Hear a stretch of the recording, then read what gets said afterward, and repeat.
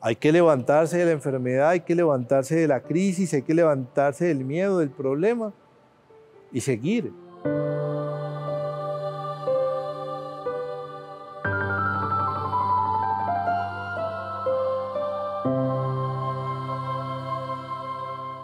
Hermanos, bienvenidos a la lección divina hoy, primero de julio, séptimo mes de este año.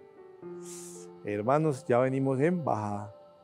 Mes de la Virgen del Carmen, nuestras iglesias carmelitas, nuestros templos se van a empezar a embellecer, a preparar y aquí en esta parroquia sí que va a haber fiesta para la Virgen del Carmen porque es nuestra patrona, parroquia Nuestra Señora del Carmen. Y desde ya, hermanos, pedirle a ella que interceda por nosotros, comenzando este nuevo mes, terminando esta semana duodécima y preparando siempre el corazón. Los invito entonces hoy a que tomemos el Evangelio según San Mateo, capítulo 8, versículo 5 al 17. En aquel tiempo, al entrar Jesús en Cafarnaún, un centurión se le acercó rogándole, Señor, tengo en casa un criado que está en cama paralítico y sufre mucho. Jesús le contestó, voy a curarlo. Pero el centurión replicó, Señor, no soy quien para que entre bajo mi techo. Basta que lo diga de palabra y mi criado quedará sano. Porque yo también vivo bajo disciplina y tengo soldados a mis órdenes.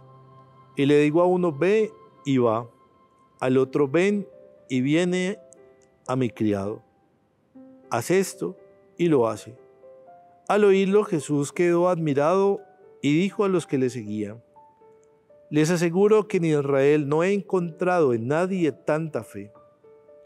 Les digo que vendrán muchos de oriente y occidente y se sentarán con Abraham, Isaac y Jacob en el reino de los cielos. En cambio, a los ciudadanos del reino los echarán fuera, a las tinieblas.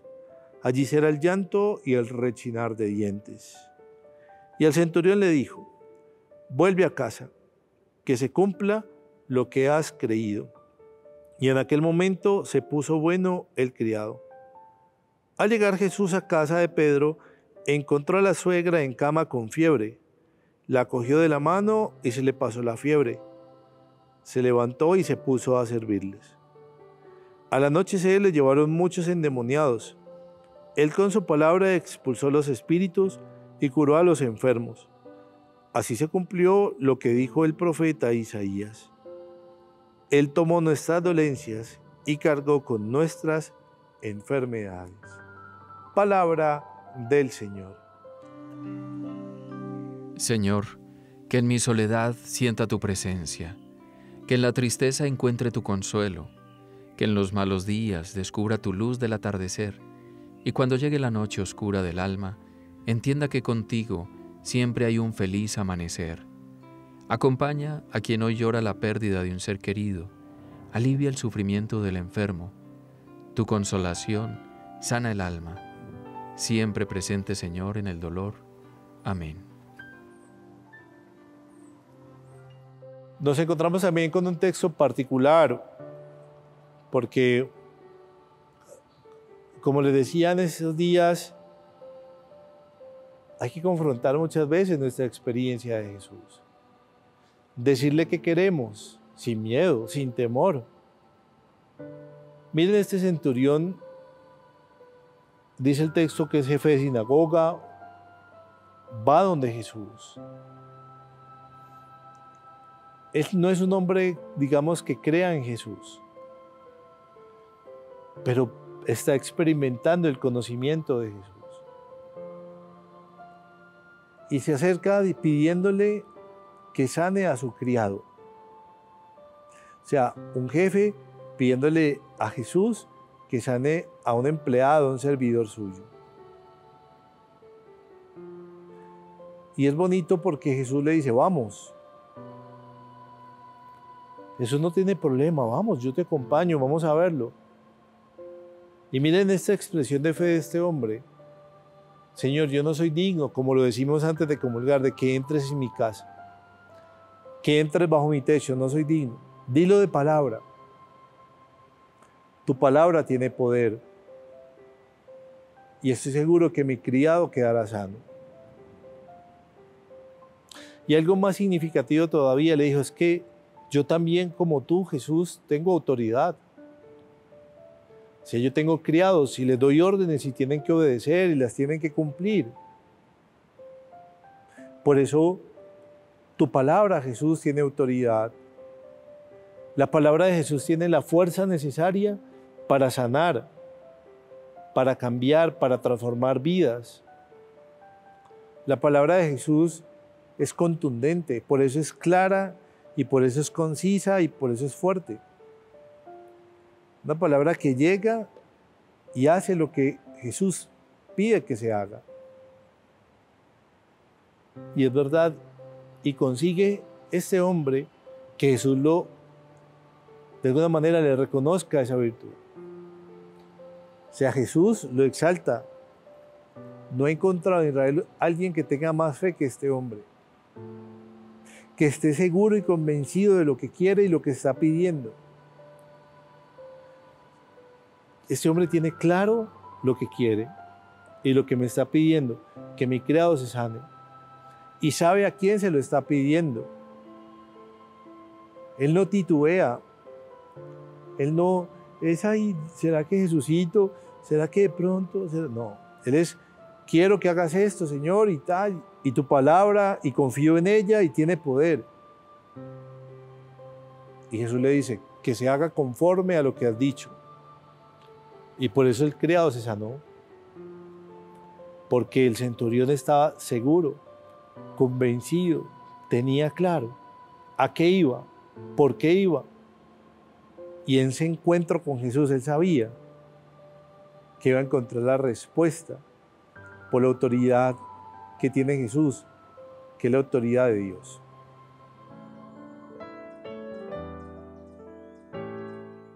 Ayúdanos, Señor, a ser y parecer, a cumplir lo que prometemos y a hacer las cosas buenas, como si nadie nos estuviera viendo, a no predicar tanto y a obrar más. Ayúdanos a ser mejores, especialmente cuando llegue la tibieza.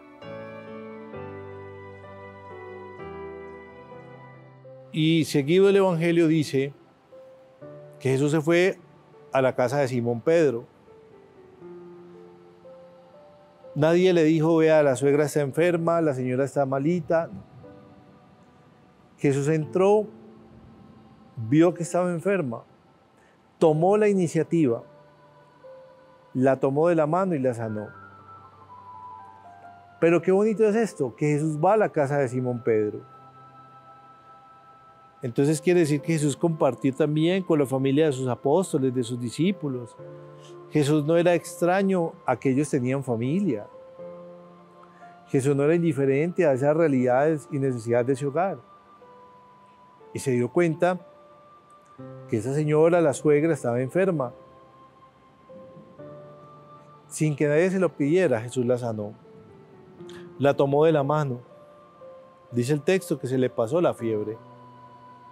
Y lo bonito que hizo ella es que inmediatamente se sintió aliviada se puso a servir. Sirviendo, agradeció. Como quien dice, sirviendo, pagó con amor lo que Jesús hizo con amor. A veces nosotros, hermanos, el Señor nos da cosas y nos relajamos. Yo recuerdo, es que ya uno ni sabe, cuando estaba terminando como todo esto de la pandemia fuerte, a veces como que empezamos a vivir como si nada. Ya pasó, listo, ya. Se nos olvidó cuidarnos, se nos olvidó protegernos. Y en ese descuido, en esa falta de atención, de concentración, también hubo gente que murió. En un descuido podemos perder muchas cosas. Hay gente que se siente sana y ya suspende medicamentos, hay gente que se siente muy aliviada y deja de, ir a sus quimios. No, no, no. Hay que seguir haciendo la tarea. Hay que levantarse de la enfermedad, hay que levantarse de la crisis, hay que levantarse del miedo, del problema y seguir poniendo de manifiesto y por obra lo que podemos hacer. Es que no es escondernos, no es reprimirnos, no es poner al servicio de la comunidad y de los demás todo lo bueno que Dios nos ha dado. Él hizo su parte con la suegra de Pedro y ella hizo su parte cuando se sanó. Entonces, Jesús hace su parte en nosotros. Jesús cumple su promesa. Jesús tiene autoridad. Ahora nos corresponde a nosotros servir, dar testimonio, multiplicar y compartir todas esas cosas buenas de Dios.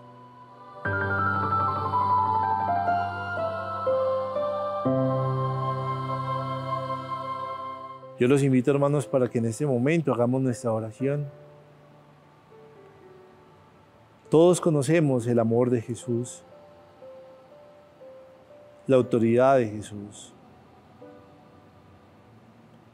Señor, que tu palabra siempre sea un bálsamo.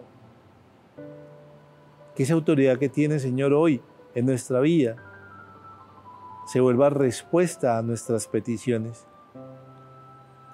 Señor, que cuando nos veamos sanos, tranquilos, nos dispongamos a servir, a ayudar, a compartir. Que seamos capaces, Señor, de multiplicar esas buenas obras, de tener una fe adulta, madura, seria, responsable, donde tú eres de verdad Jesús, esa gran luz, esa gran fuerza, esa gran paz. Amén. Bueno hermanos, terminamos esta semana. Les deseo a todos ustedes un bendecido mes de julio. Que Nuestra Señora la Virgen del Carmen los acompañe, los bendiga, los proteja siempre. Recuerden que este fin de semana que es festivo, a cuidarse, a ser responsables, a pasar rico pero ante todo, a descansar. Que la Virgen del Carmen nos cubra con su escapulario. Los bendigo en el nombre del Padre, del Hijo, del Espíritu Santo. Amén. Gracias por esta semana. Perdonen lo malo y nos vemos dentro de muy, muy pocos días. Un abrazo para todos. La Virgen los acompañe.